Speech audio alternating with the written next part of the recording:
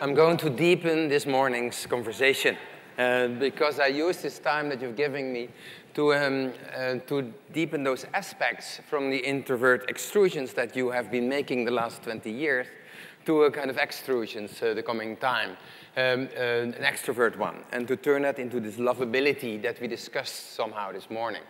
There were indeed, as I said before, there's a reference that we have to, uh, to see that what have we made with each other the last time. And when I make just a quick tour through one of your cities, then I see this production coming up. So when is architecture, let's say urbanism coming in? Yeah, here golden uh, balconies are passing by and then some glass and that's it. So the protest against that is understandable uh, because it misses some kind of aspects that we should discuss today. So what can that be? On one hand, I said this morning, maybe we should be more porous. Porous means open up our souls, our bu buildings to, um, to, uh, yeah, to let things go, to cool us and to make it uh, more a social space. I'll take you to the Why Factory in, uh, in Delft, um, where we try to study this kind of matter um, in different, say, formats. So how the future city will look like. This has to be done.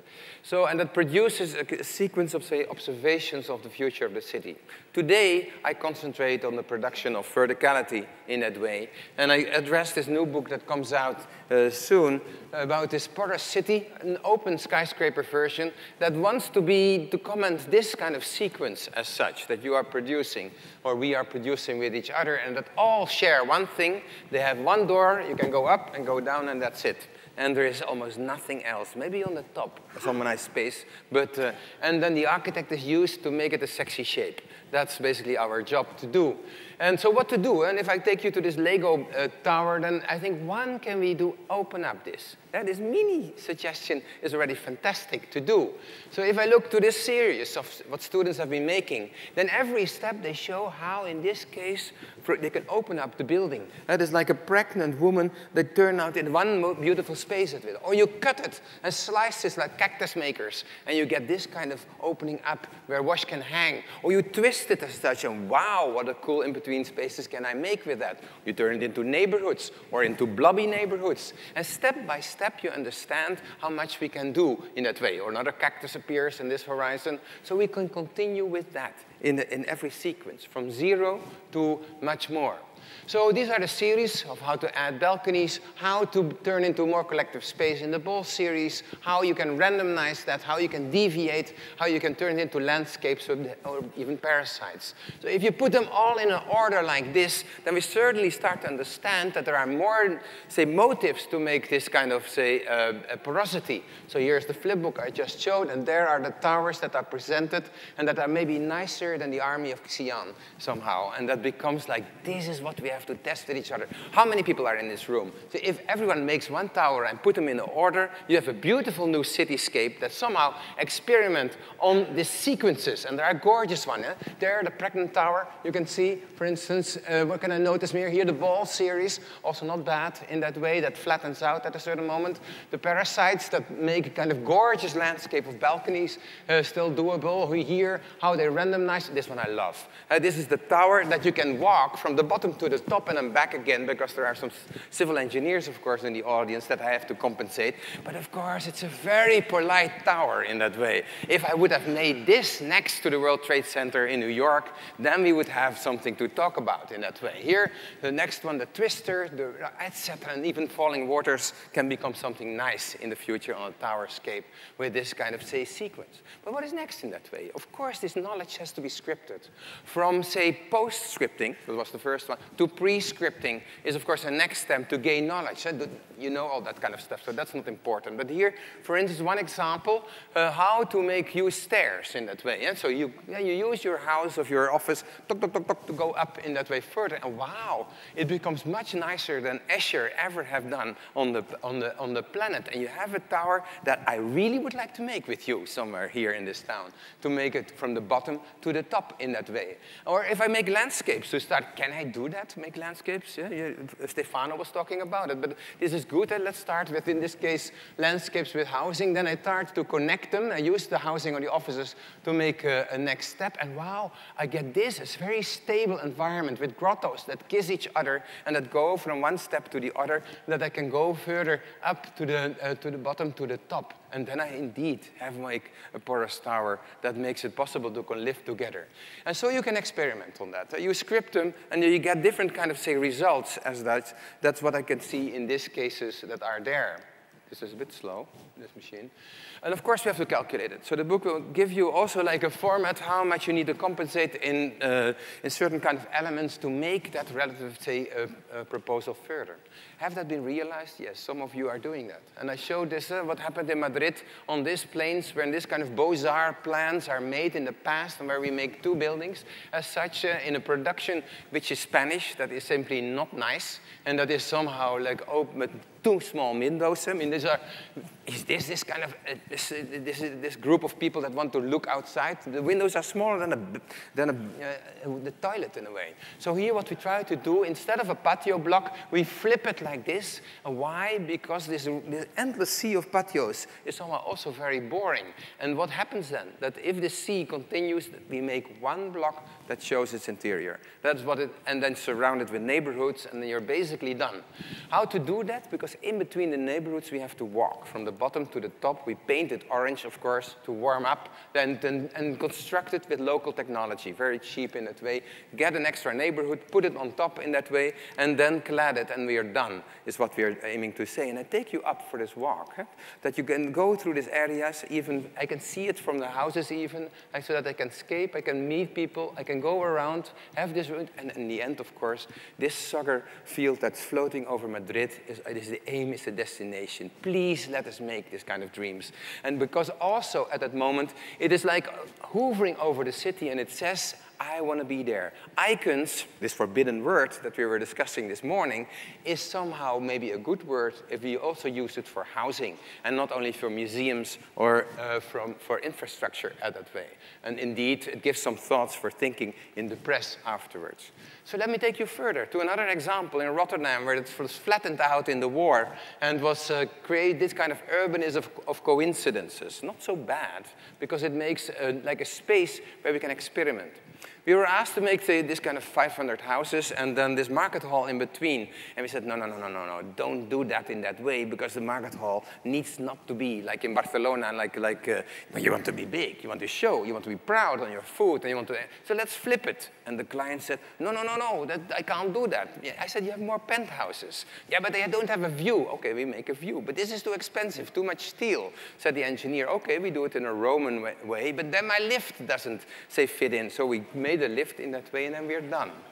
So we use it in a kind of way that we constructed in a Dutch method with tunnels like this. It's a really nice method. I can recommend it if this film continues. Yeah, there it comes and then it kisses each other. And this kissing act is, was a celebration which I would like to share with you, because actually the building is not that expensive. The, it is so, it's used for social and, and middle class housing, lower middle class housing. And in that way, for free, you have a market hall, is what it wants to say. And that's, of course, we didn't have much money for the cladding, but we had a good say at that moment, a fantastic space where we could open up our windows, say to your son, Get, come on, guy, with a fish upstairs so that we can have a good dinner. It took the attention of more people. But that's also nice. When, when do you, when, I, I, loved, I didn't expect that, to be honest. And then it came into the, into the news and they said, oh, maybe because of this building, Rotterdam gets 50,000 extra visitors annually. And so then even our queen liked it, and so she came and uh, to open the building, so we had a good laugh. And we had a, and of course, she behaved like Cinderella. That's like, a, so it's how you open up a building. And she went around, talked with everybody, and then the doors could be opened. And I was also surprised with that moment momentum in that way. Because what happens when the escalators are too narrow? Or what happens at the moment that the doors are too tight and that the fire people are warning me to, uh, and that we have to change overnight all the smoke detectors to facilitate this and to have, of course, our friends continuously cooking. And then that's the market hall, not more, not less. And yes, this is the most important moment somehow. Because why? These people watch the market.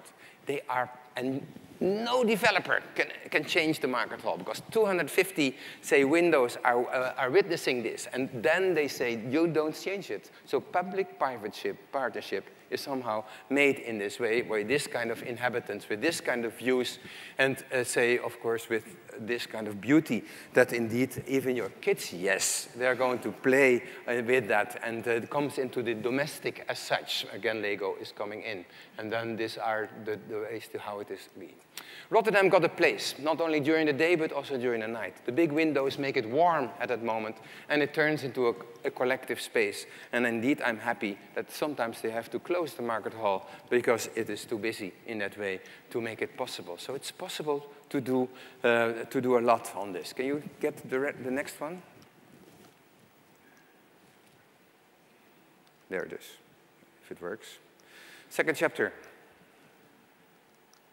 access. Another, because if you have porosity, another element to make um, this high rises more accessible uh, was this test that we did with big stairs. And would, that, would people use it? So this is only 40 meter difference, so it's nothing. But it's like, wow, this became one of the places where you wanted to go in Rotterdam to hike up and down, to test your heart, and to become more healthy in that way. So beside the trees of, of uh, Stefano, I need these stairs to make us really happy in that way. So how to continue in this district, and I showed that this morning also. Here are the stairs in that way. And these are the new towers that we imagined. And every tower has to give a hug to the neighbor. And, that's what, and then we can make, think about a three-dimensional neighborhood. That brings me back to Shenzhen, you know, the place here in the area where around the building of, of OMA was questioned how to make it turn that into a neighborhood where this suggestion of OMA, of this uh, stock exchange, would continue. Namely, you make balconies. Now, honestly, I like the building, but I never have been on the terrace there. Did you? So a stair to that terrace would be wonderful to get it on. And I hope that you can help me for that. So it's, it's, it's not a high rise in that way. It's a middle rise, but we were asked to uh, to make, if this continues. Yeah, there it is. So these are the envelopes. We said, okay, let's first work also with that lifting aspect and create a plaza on, on, for shadow in that moment. And then start to, to use the floors to kick out and to hug each other and to go further. And then we make a very nuanced suggestion. We made even a software for them to make this uh, indeed imaginable and affordable in a different circumstances as such. And that's what you can see in this uh, variety, hopefully. I don't know. What happens there? There it is. Hmm. This gets out of the paste, of course, that I was intending to have, but that's, uh, there it is. And then you get these neighborhoods that somehow are uh, going further with it, that want to, to shake hands, that want to reach out, and that want to talk with each other and create indeed maybe those balconies for the trees that, uh, uh, that uh, Stefano was talking about in that way. This makes me. I take you to Tirana also and then uh, to say, okay, what can we do there in that spirit, while enlarging uh, the forests, and, and, and uh, what can we do also on that spot, a little bit uh, a gesture with the towers that they are intending to do. This is what they do, in, say, in the best, say, East European tradition, to make this kind of towers. And we said, wow, with same typologies. And we started to say, can we do something with it? Can we shift them to make more, more forest? Can we uh, bend them as such? There they go. There they, and they shift. Can we put them like this, in that way, so that they kiss each other and they become like connectors? So here, a series of like operations per prefab tower, I would say, lead to a composition of this kind of, say, new neighborhood. So you can do with a kind of prefab system still something which is kind of nice and beautiful and turn into a beautiful, say, object and variety that can be then seen from everywhere, like fallen stones, somewhere in, in Tirana, is what it wants to say. Third chapter, after connect connection. What is can I do next step in that way? And of course, green. When, uh, I saw that there was a copyright uh, issue in the vertical forest. So, but let me go back to Gwanggyo, which is uh, in Korea, where we were faced with this already uh, about nine years ago, and where we are now working on uh, finally to develop this what we call power center that's on that site, and where it is. Um, uh, that's over here. You can see it. And you know what, what you do normally? You make towers and a plinth and a water plaza inside for the malls. And if you look at it, it's everywhere. Tower, plinth, water. Tower, plinth, water. That, and, it, and we made thousands of these pictures. I mean, you can hang them here at your walls and see how good we are, how original we are. We all use the same typologies, is what it says. So can we do something, think differently? So instead of this, uh, we were thinking more like, what can we do, um, uh, think like this, so that the mountains get connected somehow. And that is what you flip by, that here on this side, by this, we add maybe this, we force that into a kind of compactization. And how can we manage that with the logics of real estate in that way and transform that valley into a continuation of the mountains? Uh, so here, if you, this is the matter that we think, we try to push it up in that, um, so as much as possible, so that you could imagine that this would be the possible landscapes as such. And here it emerges from that. But what, how to make the logic? You, I it for a moment. And it was nice to work the last times about what, what you normally have in real estate, bubble diagrams. So you go from bubble to bubble, destination to destination. Fair enough. And uh, so yes, let's accompany that with a catalog of cupolas. And that say every cupola has a certain kind of say uh, typology for housing or for hotels or for offices or here for service apartments. They could do in that way. And we selected in the end with the client this composition that they would like to have and placed it on, on the surface like this. And then you would start to imagine how that, this kind of sequence is it. And we can make terraces. So um, from, say, a straight wall, a flush wall, you can make uh, elements that you can uh, imagine where you can plant. So it starts on the lower part with these bubbles from the, with the shopping center, the plinth, as you would say. Uh, there it goes further. There it goes further and further and further to, up till the moment that you reach the top.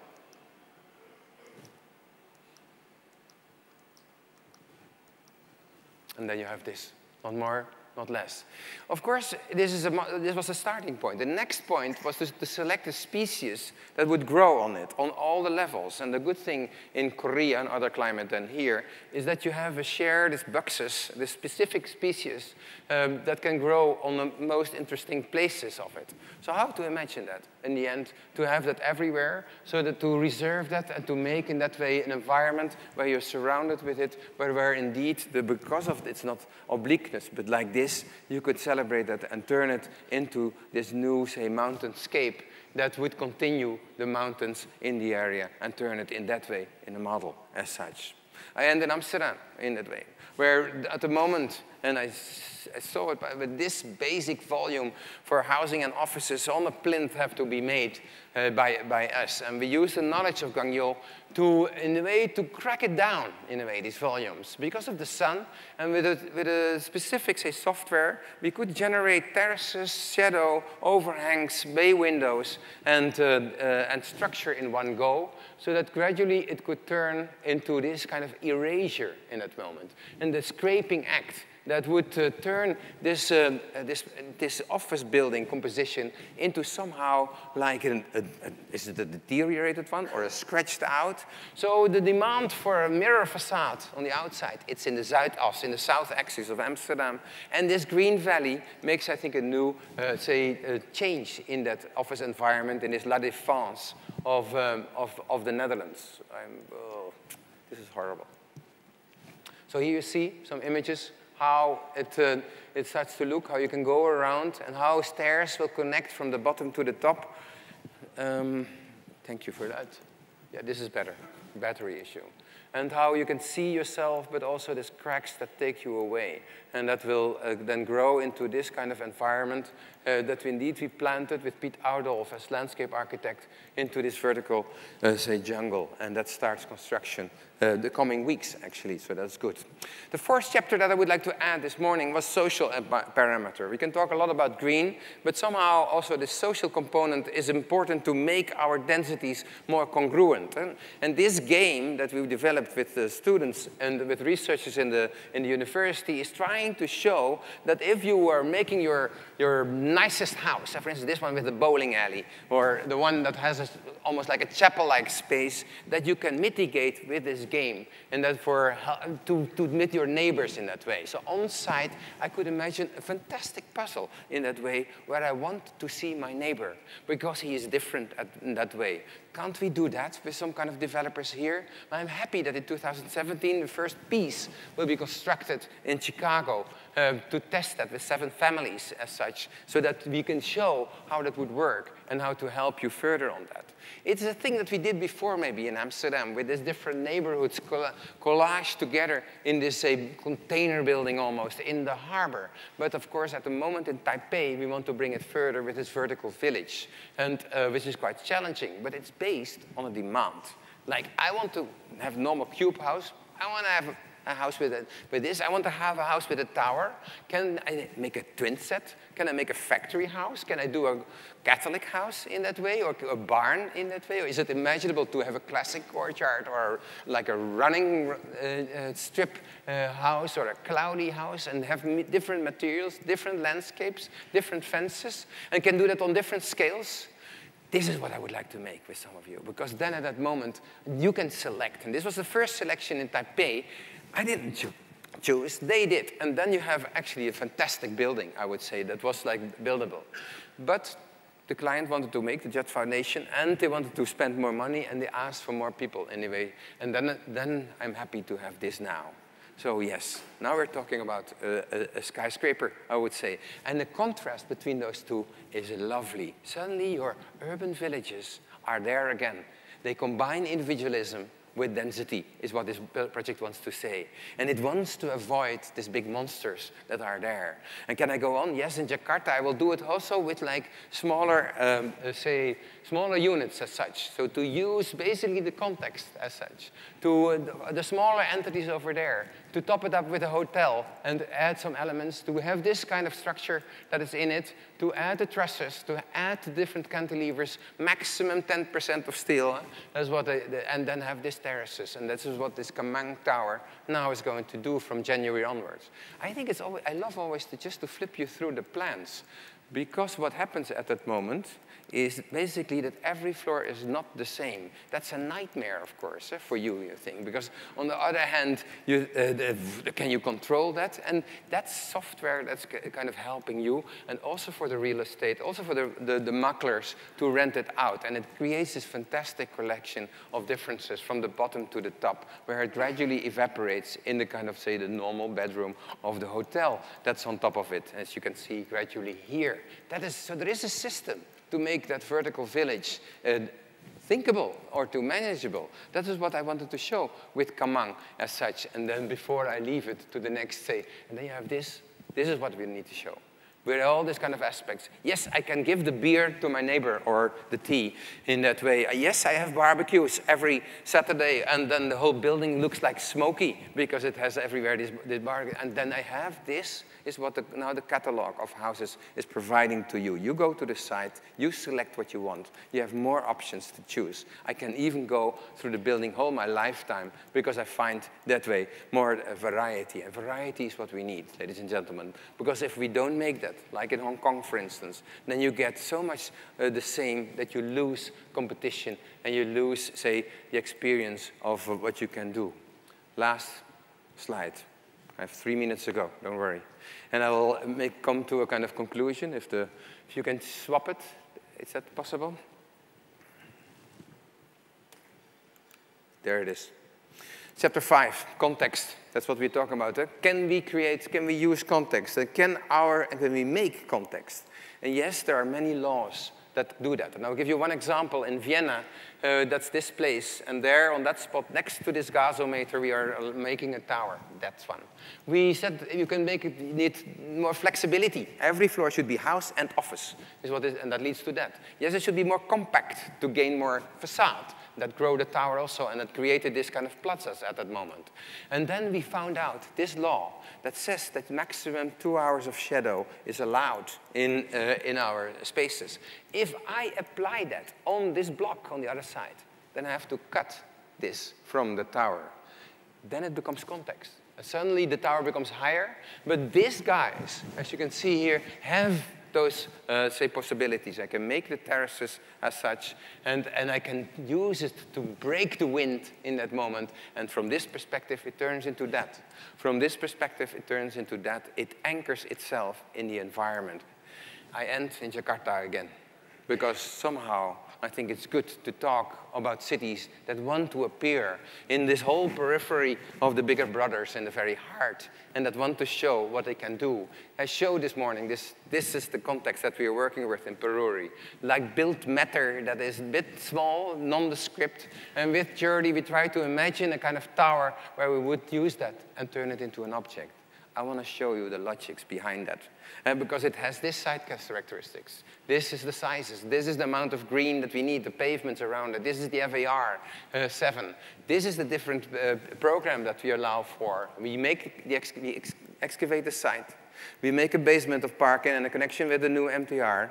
We make the basement retail in a normal restrictions, and then we start to work on the retail blocks. We cut them in different entities and throw them on the ground.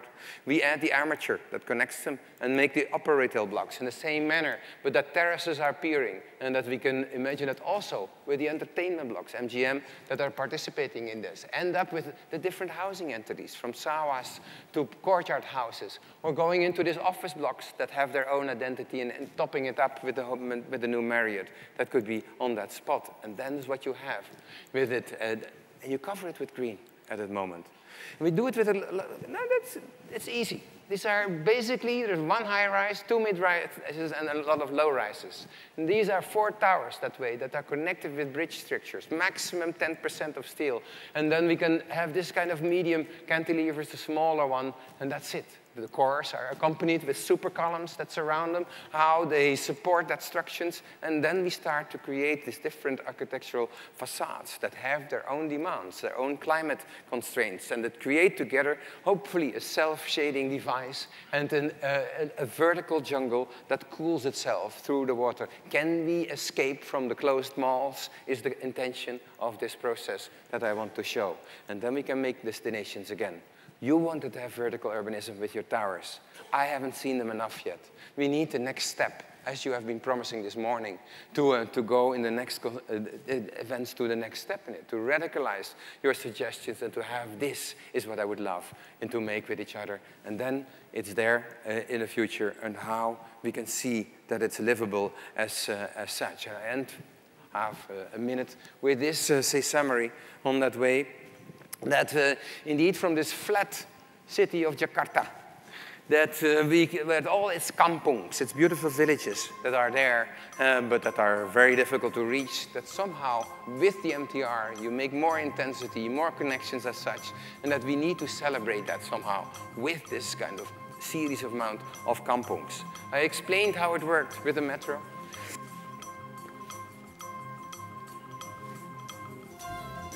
Yes, please how we created this whole, how these different, different destinations are fragmented to cause differentiation and shadow and in between spaces.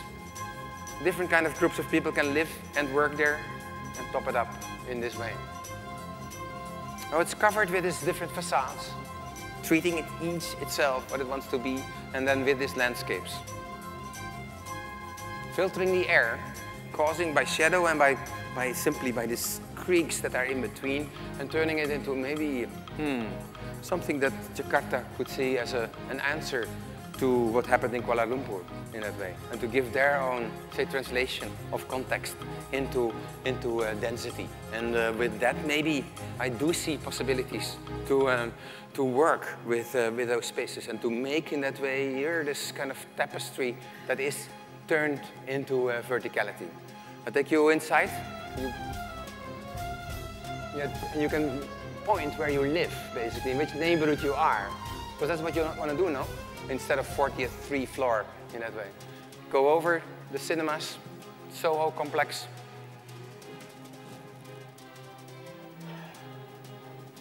And the Sawas. Up to the top with the World Trade Center.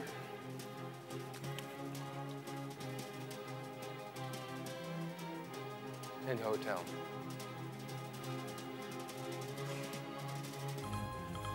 Thank you very much.